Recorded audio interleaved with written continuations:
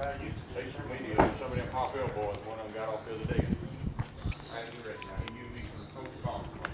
what am I going to do with this boat that's ready?